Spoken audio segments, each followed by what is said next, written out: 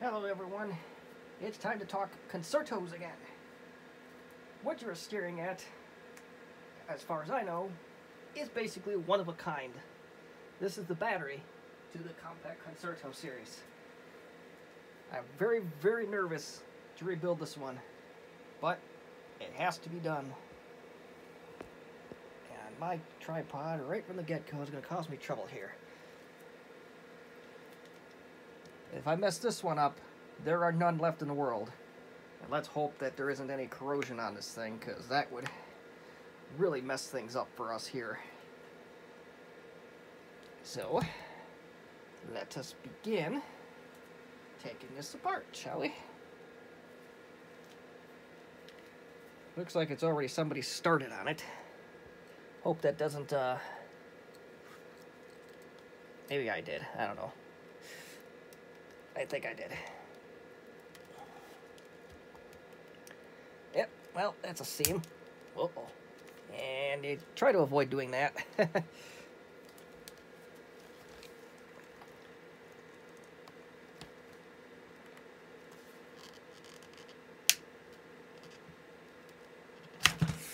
yeah, this one's gonna be fun. But basically, it's like anything else. You gotta find a seam and keep going. Slowly keep going is the key here.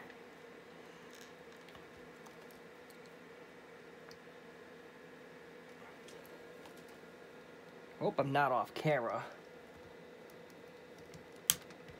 Ah, shit.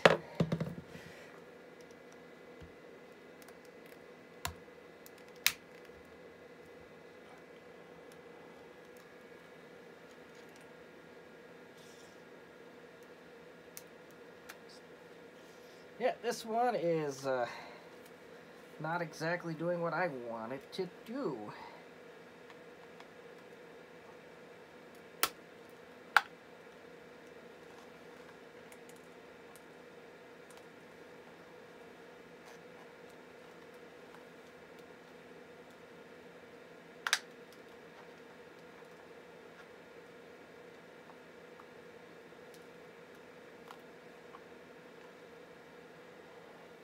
And if I take the slightly bigger screwdriver, use that as a holding point, and just keep going. Did chew it up quite a bit already, which I did not want to do, but that is life. I'll try to do this the best I can in camera. It does have green cells, and this looks like a hot glue one. So maybe if we take the heater it may do something. I'm not sure.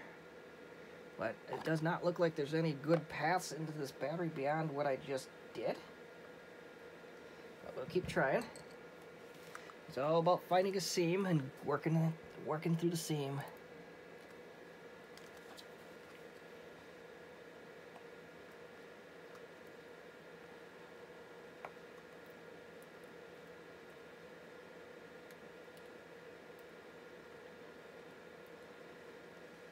Yeah, this one is just not wanting to come apart today.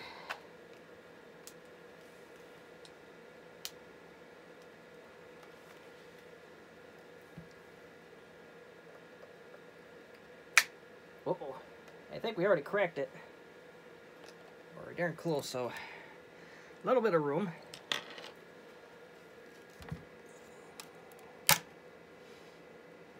And this one actually has some snaps on it. That's special.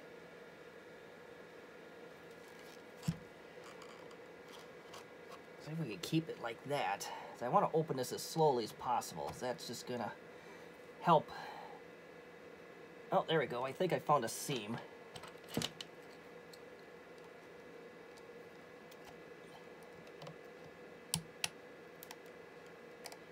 I did find a seam.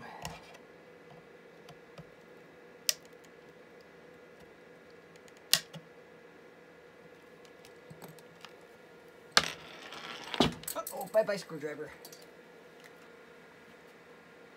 I have no idea where that went. No idea at all. All right. See if we can keep working with this one. Cause I don't feel like hunting for that thing right now.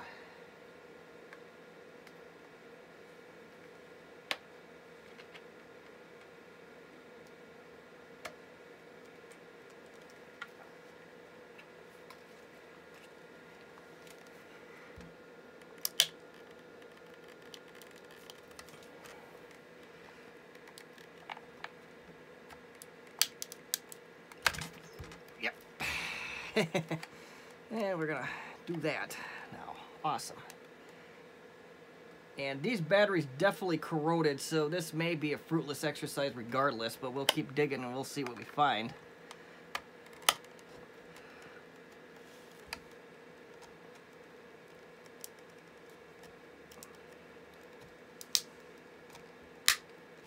There you go. Starting to get a little bit leeway here hope that we don't crack it in the end or something or find a really stubborn corner like that one LTE Elite battery I tore apart.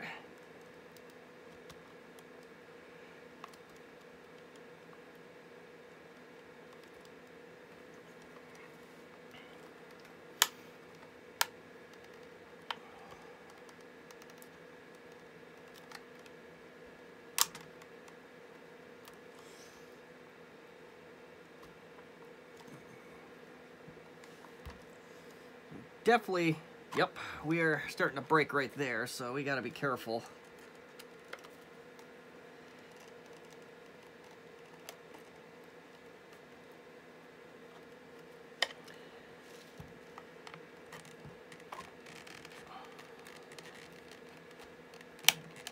All right, so we got, we're about halfway into this, uh, depending on what uh, optimism or pessimism methods you like to use here think. Oh yeah, there's some, definitely some glue on this one. So this uh, is a very stupidly designed battery in my opinion, but there we go. And possibly even rebuilt at one point. I'm not sure. I can't draw to any conclusions just yet till I fully can see what we got going on here.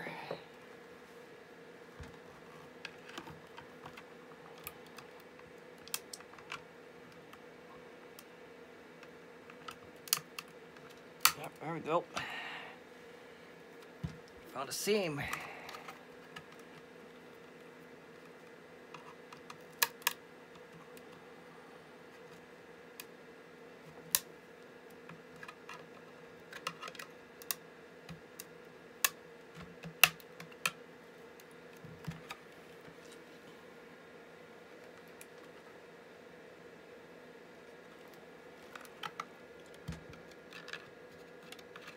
We're just gonna start working right down the seam and split this puppy open and let's hope for the best. And, oh, we're starting to crack. So that idea is not going to work.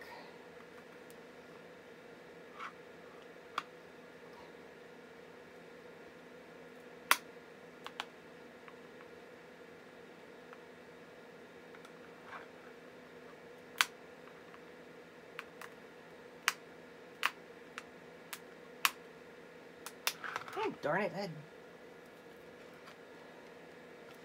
Well, we're three quarters of the way in, but we do have cracks on each side, so we got to be real careful. There's also glue on that side.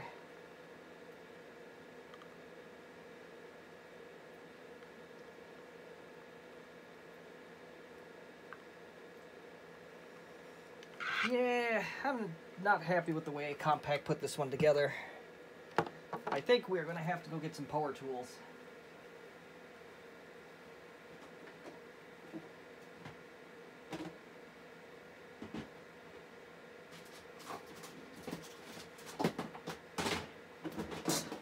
Just because there is some hot glue in here, I think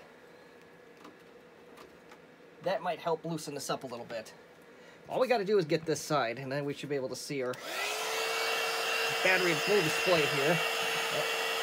That light went off here.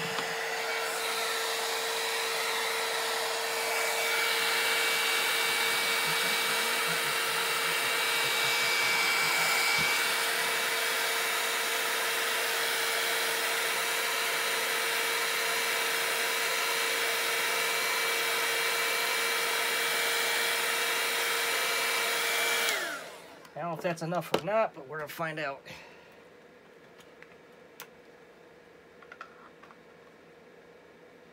I have not seen this much glue on a battery in a long time. But you'll get to see soon enough what I'm talking about.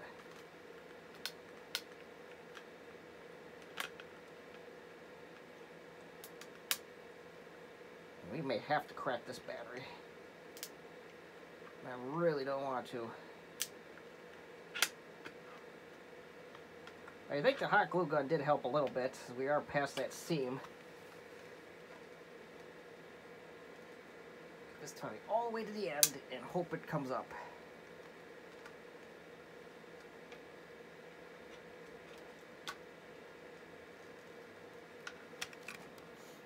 So we're in pretty far now.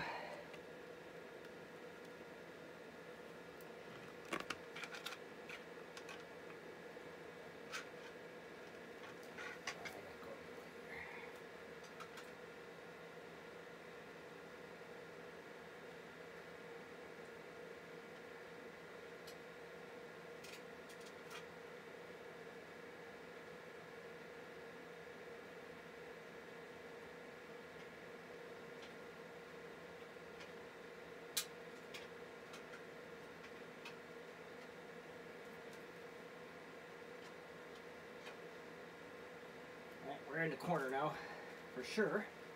So it shouldn't break that part open. You know what? Let's see if we can get the whole thing out at this point. That might help us. Because there, we're almost out. And we got Leaky Thomas here. Ah, beautiful. They got the glue crap on the other side too.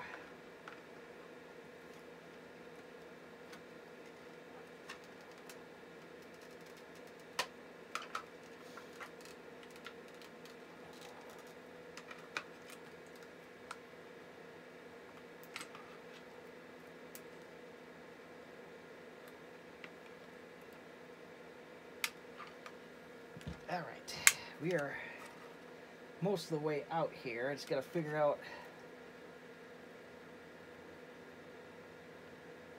Ew. Maybe not a good idea to do it that way.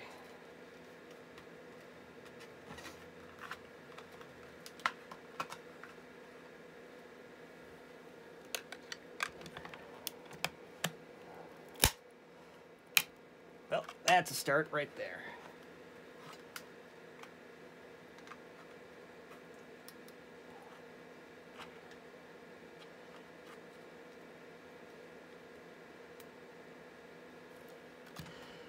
Too bad it is ripping awkwardly for me.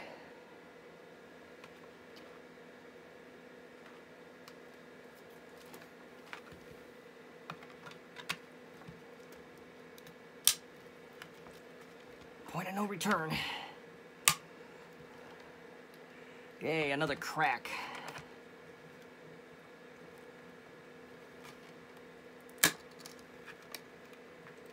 Well, I think One little corner that snapped off. There you go. One Concerto battery. I'd be a liar if I call it my prettiest work. Let's take this sucker out and let's see what we can do here. Get my light back on the contacts are actually underneath. That's not uh, a typical configuration for these batteries. Ooh, this one's gonna be fun. Not. So, there's that. There's the contacts right there. I think this is gonna be a very interesting one to do. Because I don't see a way to take that plastic out. Oh, it just snapped in. Now the question is, can I get those out without breaking those plastics off? And the answer looks like probably. It's on the one side that's the case. I don't know about the other side.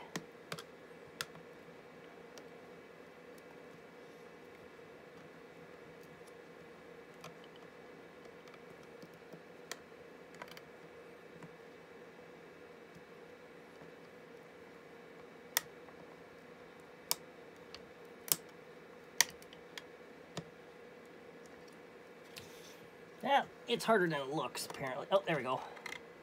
There. There's the Concerto battery. There's the top. And there is the bottom.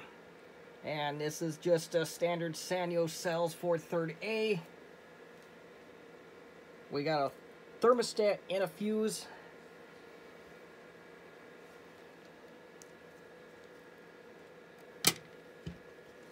So a lot of similarities to the LTE Elite battery packs where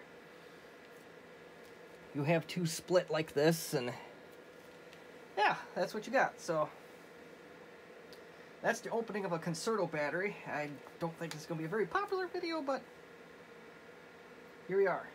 There's probably a better way to do it, but this one just happened to go the way it did. So that's going to be it for me. Uh, if you have any questions, comments, uh, concerns, constructive criticism, you may leave them in the comments section as normal. The next video, you, if you know me by now, will be rebuilding this battery, so stay tuned for that. Thank you for watching.